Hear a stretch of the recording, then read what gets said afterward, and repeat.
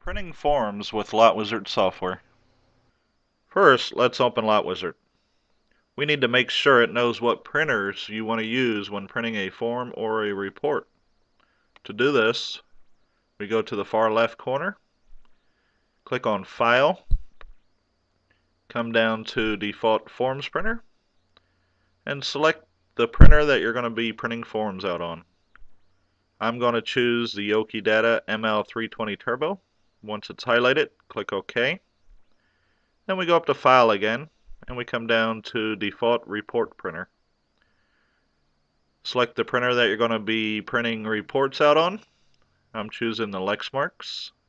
Click OK. Now LotWizard knows what printers to use when printing. Your Oki data should be already set up and the manufacturer settings should already be set to work with LotWizard. If they are not, you can watch the videos on setting up the Oki Data printer and printing the manufacturer settings. And you can also watch the video on how to change your manufacturer settings if you need to. Now let's turn the power on to the printer. It's a button on the right side towards the back of the printer. Also, let's make sure the guides on the printer are set properly. The left guide should be pushed all the way to the right until it hits the stop and back it off about an eighth of an inch. Now let's load a form. To load a form, it should go in upside down and backwards.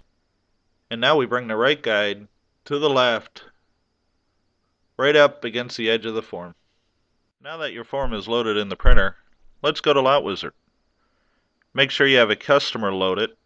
You can go to the far right and click on Deal History.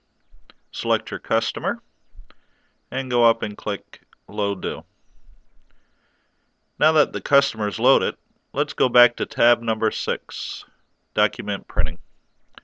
Go ahead and highlight the form you're going to be printing. I'm going to be printing the Buyer's Choice Warranty. And you can go ahead and cl click Print, or you can double click on the form. The question screen comes up. Go ahead and fill out any information that is pertinent to this customer and then click OK at the bottom. The alignment window opens. You'll notice above the three buttons, OK, Cancel, and Alignment, it tells you where to align the form that you're printing on. It says Align on line below name. Now let's go back to the printer. If you look down in the printer by the ink cartridge, you'll notice a clear plastic shield with a red horizontal line on it.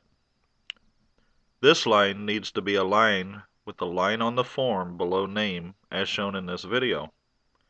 You can adjust the form up or down by turning the knob on the right side of the printer. Now that the form is aligned properly in the printer, let's go back to LotWizard and click the OK button to print the form. If the form does not start printing, make sure the SEL button on the front of the printer is on. If it is not, go ahead and press the SEL button on the front of the printer and it should start printing. And that is how you print a form using the LotWizard software. Make sure the form you're printing on matches the form you're using in LotWizard, including the revision date. If the printing does not align properly on the form, Please watch the video on aligning forms with LotWizard software.